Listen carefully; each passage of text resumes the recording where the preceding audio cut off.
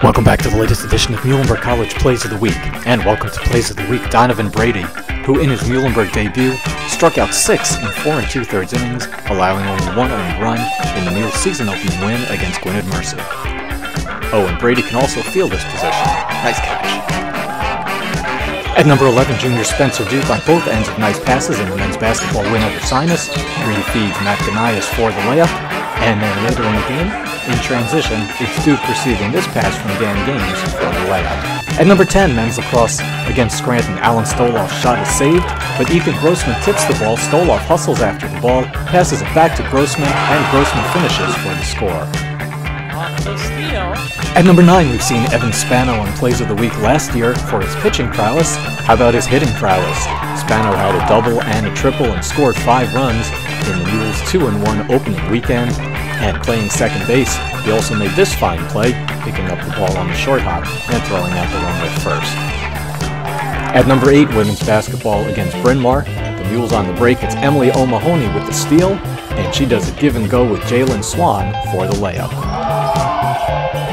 At number 7, men's tennis against Swarthmore, nationally ranked Swarthmore, and it's the number 2 doubles team of senior Noah Sellinger and junior Eli Taylor Kerman, posting an 8-4 win, Mules' first doubles win against Swarthmore since 2010.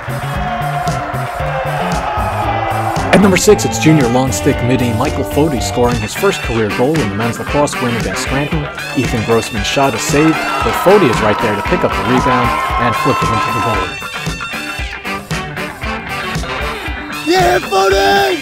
Yeah, Fodi! At number 5, it's a major milestone for senior Matt Gnias of the men's basketball team in the Mules playoff win against Washington College.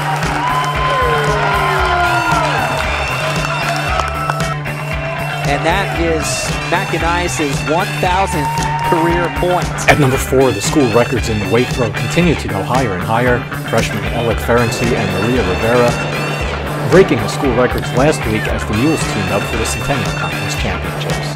At number three, men's basketball at Gettysburg, closing second, game tied.